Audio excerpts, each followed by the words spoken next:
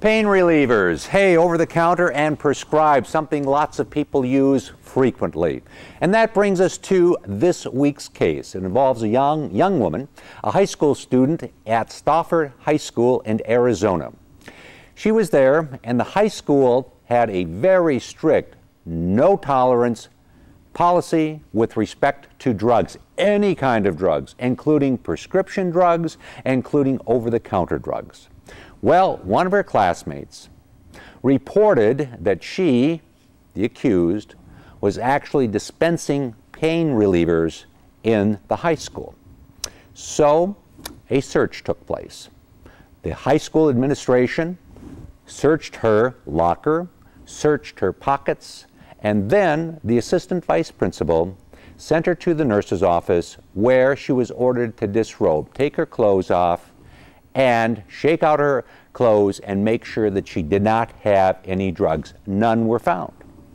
Well, needless to say, this high school student was very distressed by all of this. And she then brought suit through her parents against the high school and against the school district. She contended that her civil rights under the federal law, 1983, were violated. And yet, what happens here is that a high school, a public high school, has to guarantee to its students a modified form of constitutional protections. Now, high school students are not adults, but for all intents and purposes, a high school is an arm of the government, and the Constitution is about you and the government. It's a protection that you have against the government in any way invading your rights. Now, high school students aren't adults, so their rights are somewhat modified.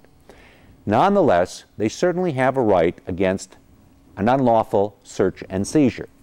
She sued them. Case went forward, and it went all the way up to the Supreme Court.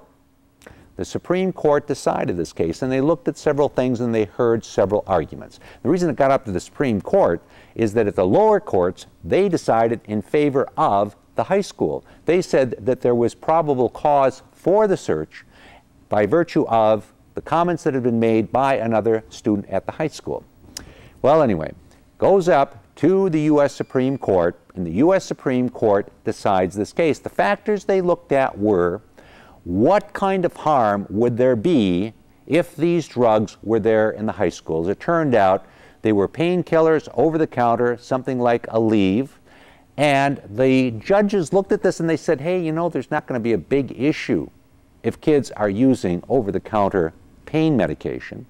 Secondly, they looked at what the school did. They said, hey, they got a little carried away here when they ordered to the nurse's office, asked her to disrobe, and basically did a strip search. That's over, above, and beyond what should be done in this kind of a situation, given the nature of the accusation that she was simply giving out pain relievers. In view of all of that, the court said, hey, high school, you did not have a justifiable reason to engage in this kind of search under these circumstances. All right. So, what happens to this case? Well, the other thing that the Supreme Court said is that the high school was entitled to qualified immunity. Qualified immunity, that meant that they have some immunity.